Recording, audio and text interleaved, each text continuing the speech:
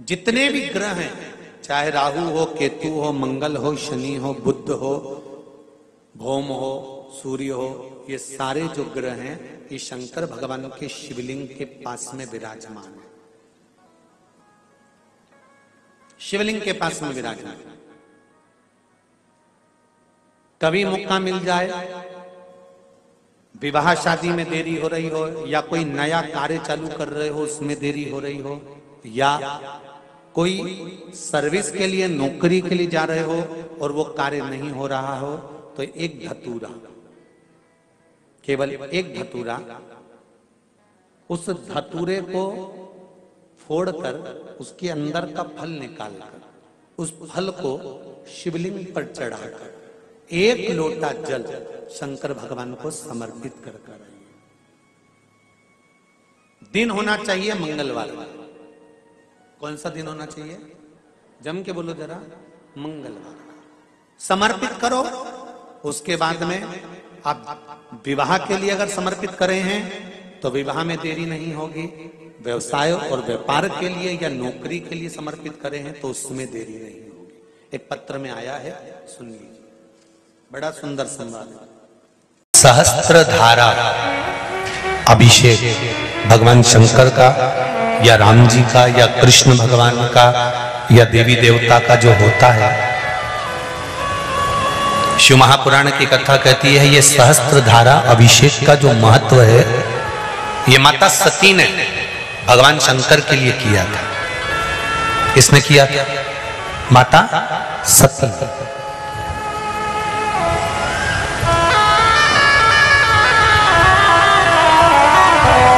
कभी जीवन में आपको लग रहा हो कि मैंने दो तीन व्यापार करके देख लिए और घाटा ही घाटा हो रहा है।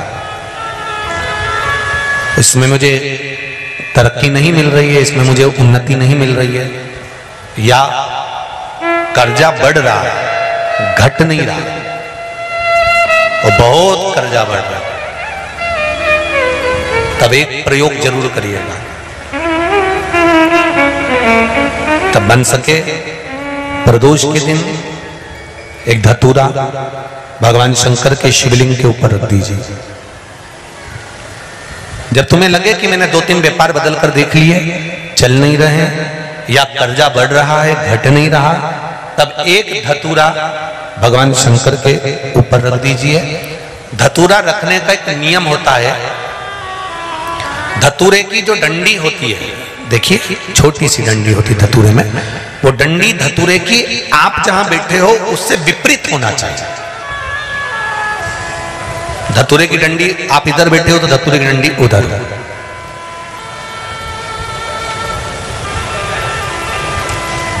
अपने को लग रहा है कि व्यापार मैंने बदल लिया, दो बार, चार बार, छह बार व्यापार बदल के देख लिया और कर्जा बढ़ रहा है, पर व्यापार भी नहीं चल रहा। फैक्ट्री डाली, वो भी चल बंद हो गई। दुकान डाली, वो भी बंद हो गई। कुछ काम करा, वो भी बंद हो गया। जहाँ संबंध के लिए जाते हैं, संबंध नहीं होता है। बेटा बेटी बड़े हो गए, उनका कहीं जम नहीं रहा। बहुत प्रयास करके देख लिया, पर हो नहीं रहा। तो प्रदोष के दिन धतूरे को रखिए, पर डंडी विपरीत दिशा की ओर हो, और एक लोटा जल धीरे धीरे उसी धतूरे के ऊपर आप चढ़ाना प्रारंभ कर दीजिए, जो शिवलिंग के ऊपर रखा हुआ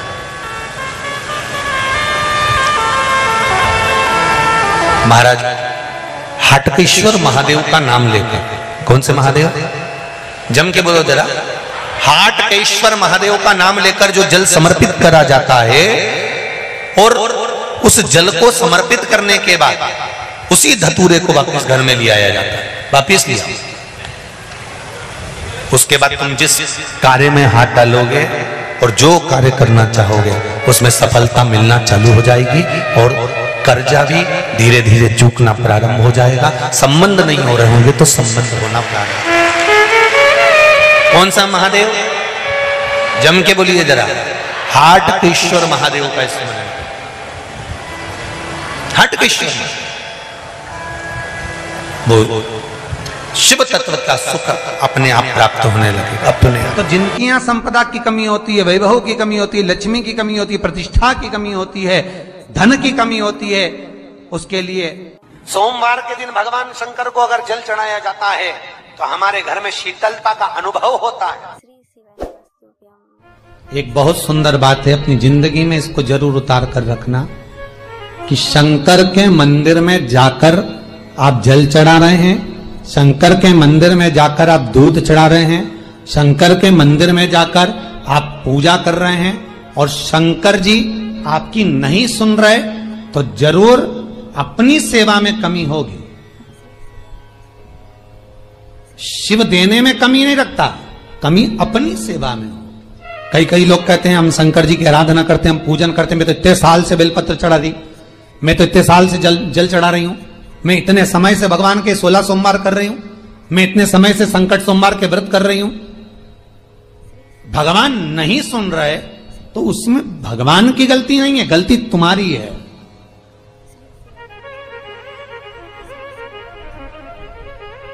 गलती तुम्हारी है।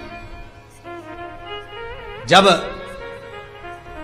दस दिशाओं को भगवान शंकर ने बांटा, और शंकर भगवान ने दस दिशाओं को बांटा तो दस दिशाओं का आधिपत्य बनाया ये, कि कौन सी दिशा में कौन सा देवता इसका आधिपत्य रखेगा। कौन से देवता यहाँ पर निवास करेंगे? किसका आधिपत्य इस दिशा में होगा? पूरब, पश्चिम, उत्तर, दक्षिण, ये चारों दिशा सामने आकर खड़ी हो गई भगवान शंकर के सामने। भगवान शिव के सामने खड़ी चारों दिशा। धीरे धीरे करते, ईशान वायव्य ये भी आकर खड़ी हो गई। दसों दिशा शिव जी के सामने थी। दसों दिशा। दसों दिशा।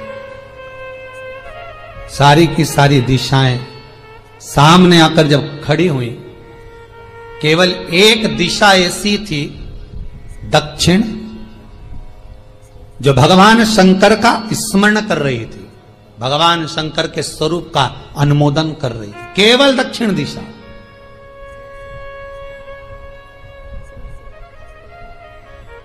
कई लोगों के मन में एक प्रश्न है, जीवन से होगा शायद। और जितने लोग टीवी पर सुन रहे हैं, मोबाइल पर सुन रहे हैं, कथा को यूट्यूब फेसबुक पर, आपके भी मन में यह प्रश्न आया होगा, कभी ज़िंदगी में तो आया होगा, कि शंकर जी की जलाधारी उत्तर में क्यों होती है? कभी तो जीवन में प्रश्न आया होगा आपके भी, कि सब शंकर जी के मंदिर में शंकर जी की जलाधारी उत्तर की क्यों होती है? किस लिए रहती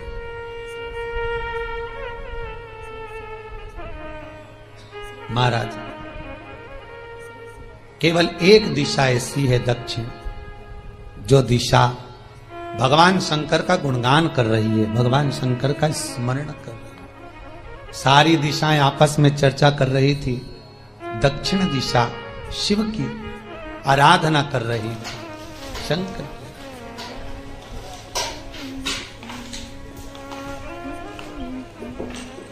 वहीं पर उत्तर जो दिशा थी, वो खड़ी होकर दक्षिण दिशा की ओर हंसने लगी।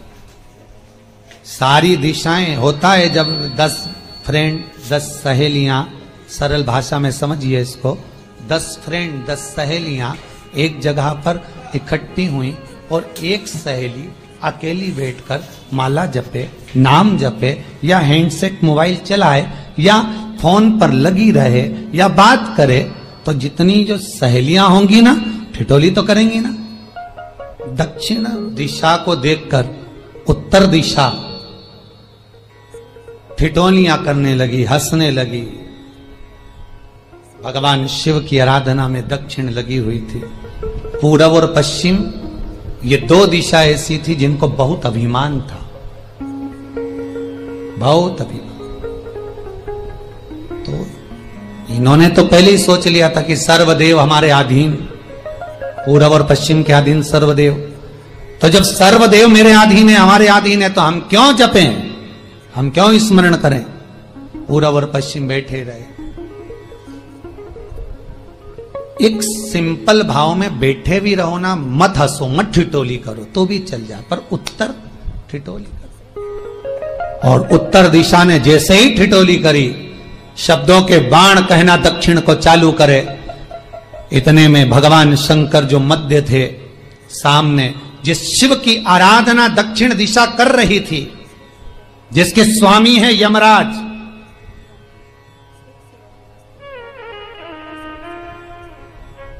जब वो करी, दक्षिण दिशा ने एक बार हाथ जोड़कर कहा, उत्तर, शांत रहिए। अगर मैं शिव आराधना कर रही हूँ तो क्या दिक्कत है?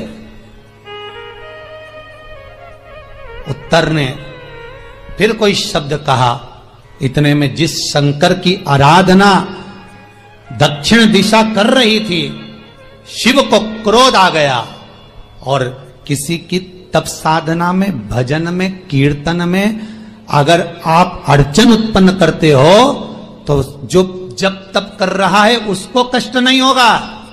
जिसका भजन कर रहा जा रहा है, जिसका नाम जपा जा रहा है, कष्ट उसको होगा।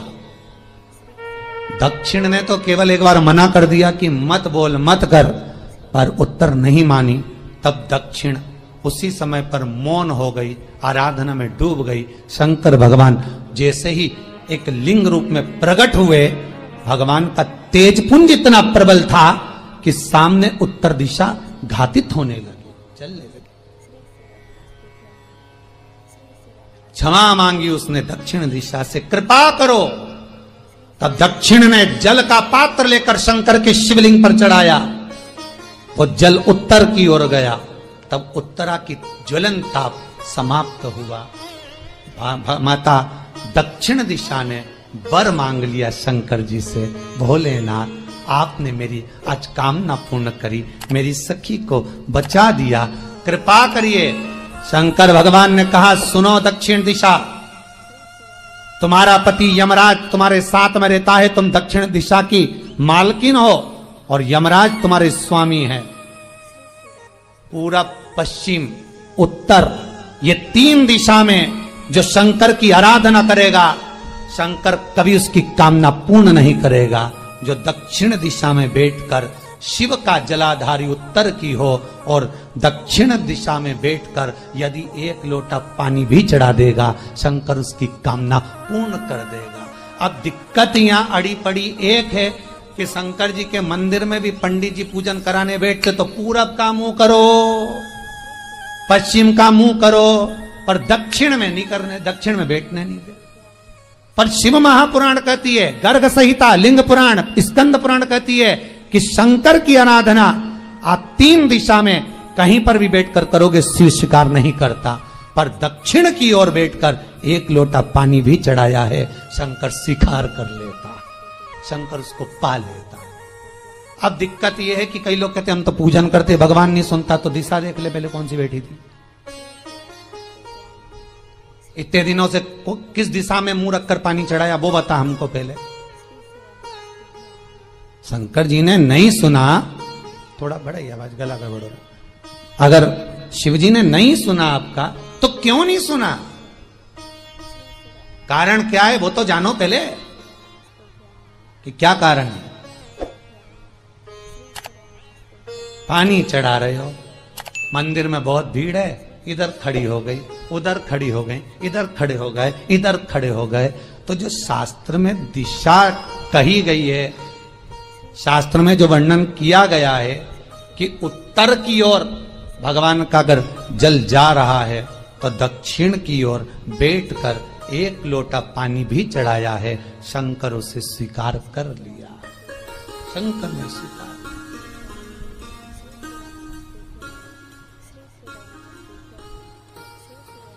भगवान उसको स्वीकार कर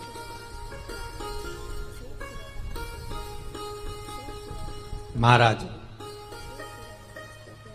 आराधना करी, दक्षिण में, फिर आराधना करी। एक वर तो मांग ही लिया है, और ये वर सबके लिए मांगा है, कोई अकेले के लिए नहीं मांगा दक्षिण देवी ने, है? दक्षिण दिशा ने जो मांगा, वो सबके लिए मांगा, किसी एक के लिए नहीं। तो दक्षिण फिर तप कर रही है, दक्षिण दिशा फिर आराधना और दक्षिण दिशा ने फिर आराधना प्रारंभ करी। भगवान शिव का अनुमोदन स्मरण किया। भगवत रस तत्व को ग्रहण करने का भाव प्रकट किया। अब जो दक्षिण ने तप किया, आज गौरी शंकर का तप माता पार्वती और शिव का तप फिर मांगा। बाबा प्रसन्न होकर हे दक्षिण, तुमने फिर तप कर लिया, फिर साधना कर ली। प्रभु, एक वर और चाहिए। बोलो, क्या वर? क्या वर दिया जाए? दक्षिण कहती है, जिस समय पर शमशान में आप निवास करते हैं, जिस मुर्दे को लोग लेकर आएँगे उसका चरण दक्षिण दिशा की ओर होगा। शमशान में प्रवेश करने से पहले वो मुर्दा भले मर चुका होगा, पर महाराज, उसकी कपाल क्रिया के पहले प्राण जाते नहीं। जब तक मुर्दे के कपाल क्रिया नहीं हो, तब तक उसके प्राण लेकर ऊपर नहीं जाया जाता। तो निवेदन है शमशान में प्रवेश के पाँच कदम पहले से जो भी मुर्दे को लेकर शमशान में आए, जितने लोग शमशान में प्रवेश करें, मुर्दे के साथ में, उन सभी को काशी की परिक्रमा का फल मिल जाए। देखिए महाराज, ये दुनिया में कोई नहीं मांग सकता जो दक्षिण दिशा मांग रही है। भूतो ना भविष्यते। जो दक्षिण दिशा भगवान से मांग रही है, वो कोई नहीं मांग सकता।